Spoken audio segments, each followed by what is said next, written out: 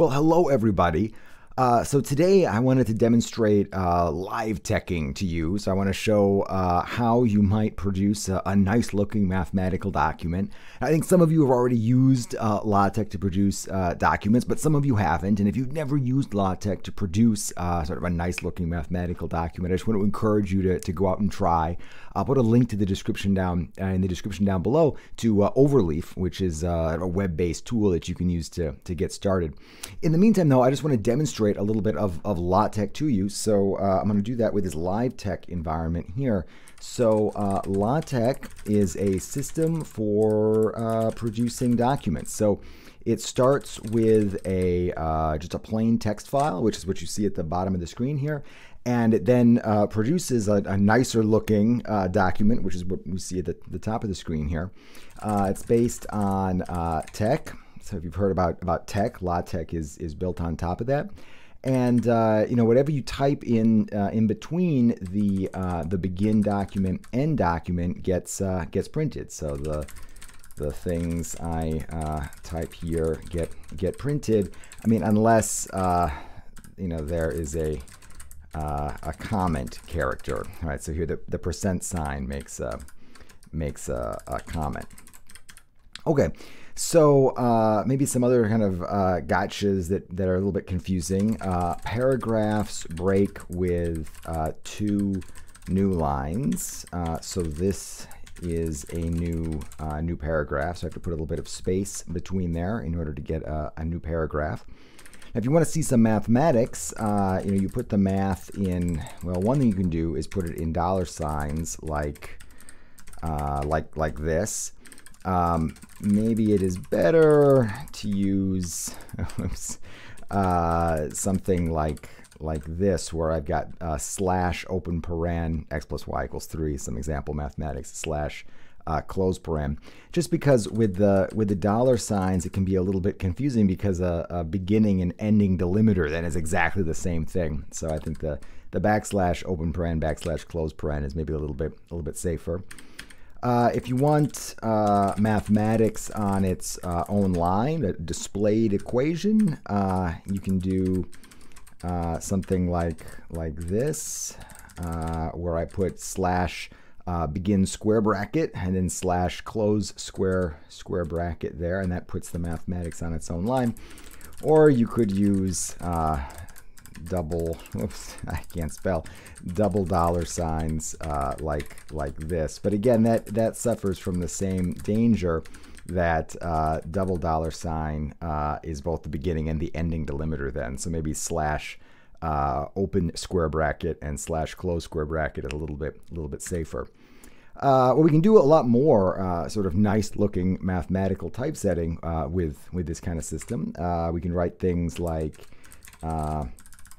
maybe an example of, uh, of exponents. I can write things like x squared plus uh, y squared uh, equals equals 1.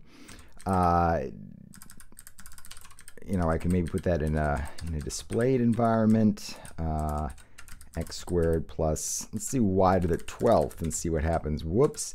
So here you see I got y to the 1, 2. So I need to put uh, curly braces around around that.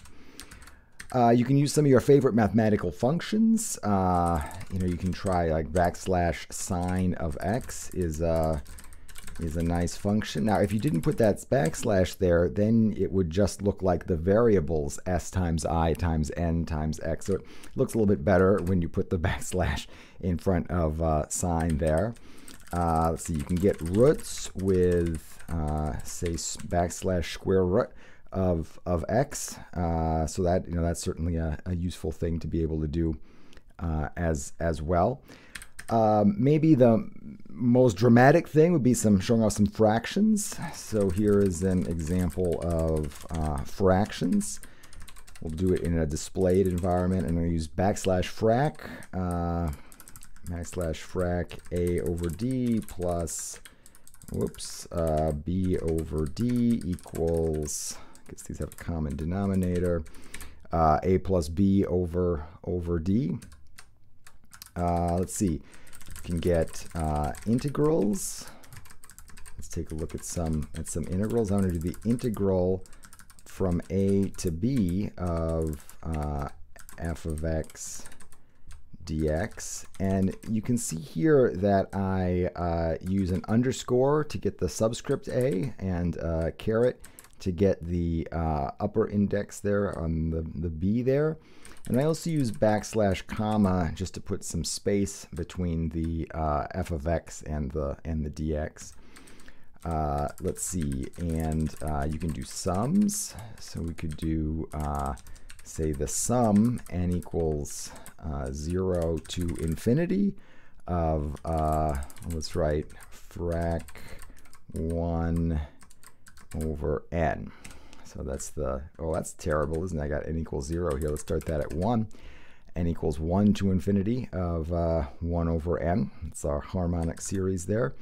So you can write the uh, the stuff below the sum uh, with a caret, and you got to surround, or with an underscore rather, and you got to then surround that in in curly braces.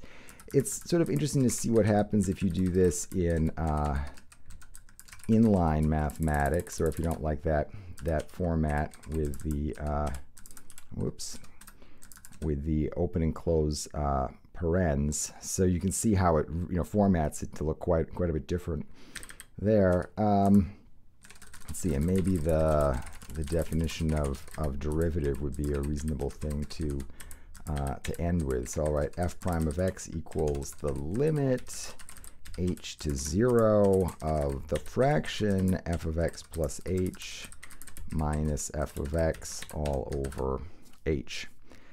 So that looks, that looks pretty nice. So hopefully this gives you at least some idea of how you could get started uh, with doing some uh, LaTeX for uh, communicating mathematics and making the uh, at least the equations look look nice. Uh, you know the the main thing is just to get started and to try it out. So if you go to Overleaf, which I put the link down in the description below, you can you can go in and explore this. Uh, these different commands for yourself and see you know what sorts of beautiful documents you can produce with with LaTeX.